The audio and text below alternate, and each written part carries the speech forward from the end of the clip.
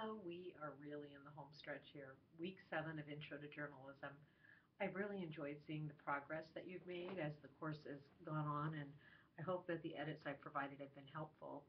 I know a couple of students I'm working with to do some extensive edits on some of the assignments that they wanted extra editing on. I'm happy to do that. If there's some pieces that you've done that you'd like to maybe submit for consideration for publication or you just want more feedback, just send me an email. I'll be happy to review those in more detail.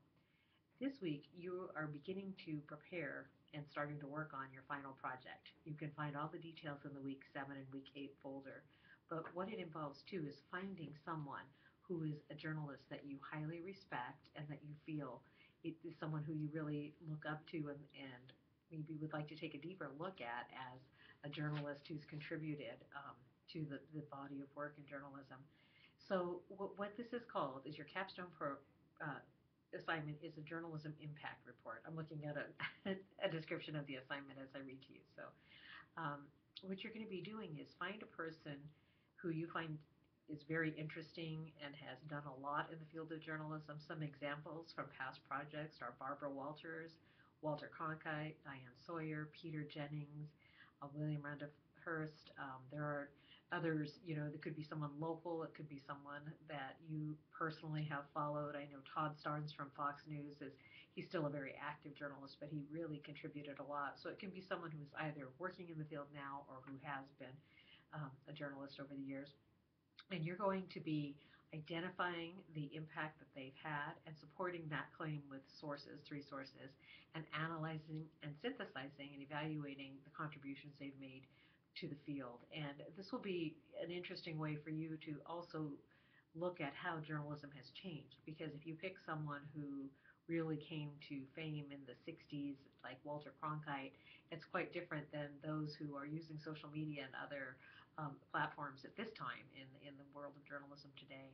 Um, I'd like you to go ahead and, and look at the video I posted on Peter Jennings. He's actually a person who was one of my favorite journalists. However, I have researched him quite a bit because I used him as an example in my doctoral dissertation.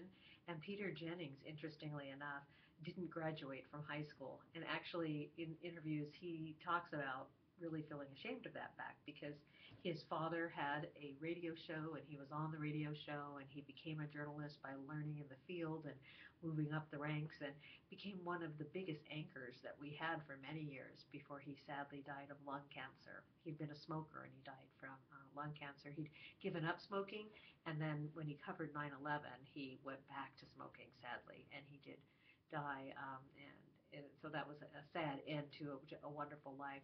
But he did make a big impact. Um, Walter Cronkite, he began as a radio broadcaster during World War II. He was broadcasting information. He was uh, there in the war and getting information back, and then went on to a great career. Many of these early journalists came to fame when television was the new platform. Talk about having a new platform now with social media and Facebook and Twitter and YouTube. This is when television was the new kid on the block. So that is a different perspective than those who maybe have risen to fame at this point in time. So I hope you'll give some deep thought to this. And I have to touch on the journalistic um, activity that we've seen in the last week.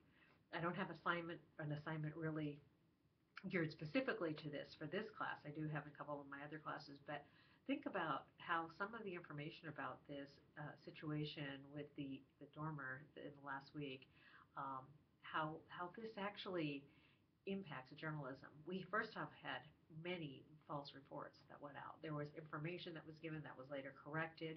This happens often when you're dealing with a crisis situation.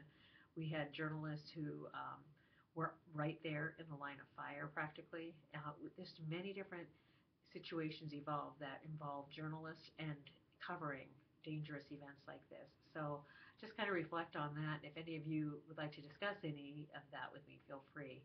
Um, again, I really have enjoyed working with you in this class, and I'm willing to give more feedback to any of those who need it. There's a couple people I'm working on some of their projects right now.